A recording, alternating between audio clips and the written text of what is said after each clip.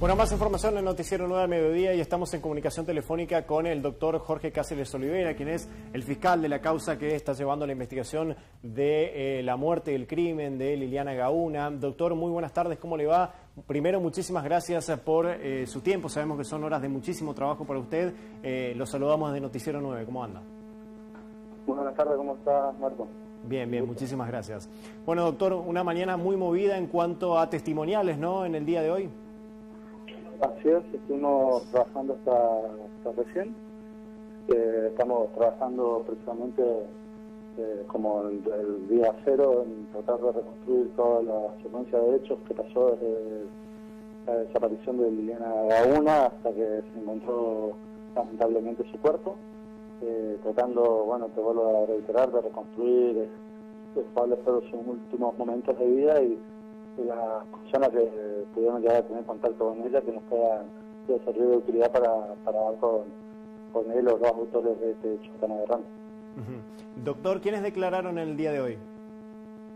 En el día de hoy estuvo declarando, con el equipo fiscal nos llevó precisamente dos horas de declaración testimonial de quien era la pareja eh, de Lilian Gauna.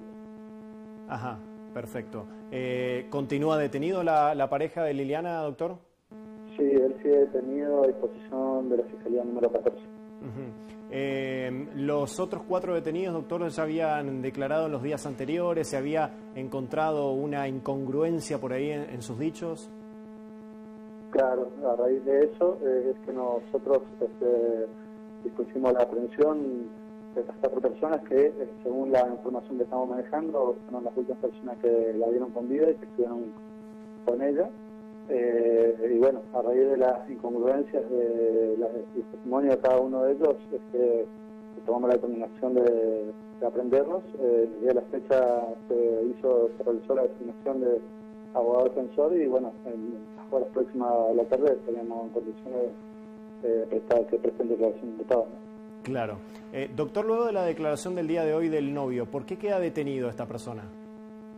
Eh, no, el novio está detenido en posición de la Fiscalía 14 por un reporte de captura que tenía. Eh, no estoy interesado específicamente cuál era la situación de él, pero bueno, eso, es lo que tengo de conocimiento.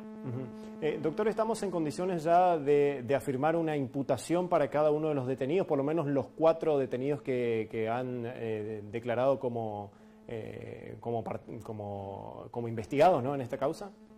Sí, bueno, ahora en el recurso de la tarde vamos a separar el hecho concreto que se va a imputar a cada uno con la calificación legal. Debo insistir, estamos trabajando, uniendo los, los, cabos que nos están sirviendo para sostener la acusación.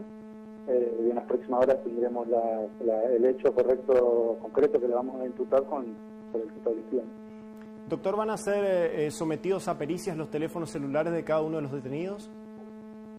Sí, este, tenemos teléfonos que han sido secuestrados, los cuales se ha solicitado al juzgado de garantías que nos autorice la apertura del mismo y bueno, y, bueno, después traerla con si el crimen de la policía del Cerro, traer los datos que pueden servir dentro de la causa. Doctor, una, una consulta. El, el novio de, Liliana Gauna, ¿tiene algún tipo de relación o de conocimiento o los conocía a los cuatro detenidos? Bueno, de la testimonial de él surgen que eh, los conocía, con algunos tenía una afinidad un poco más estrecha y con otros los conocía del barrio en una revista. Ajá, perfecto. Bueno, doctor, le agradecemos muchísimo eh, por este contacto con, Noticiero 9. Ha sido muy amable, como siempre, para con este medio y brindar algunas informaciones acerca de este caso tan relevante y, lamentable ¿no? para la provincia del Chaco.